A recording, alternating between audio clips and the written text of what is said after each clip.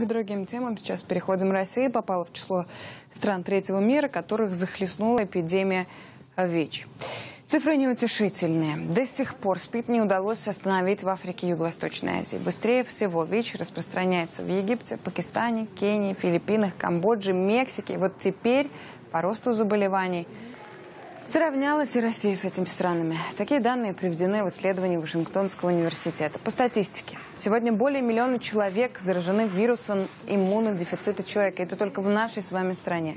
И число пациентов постоянно растет. Каждый день ВИЧ заражаются более 200 россиян. Только представьте себе, насколько страшная статистика.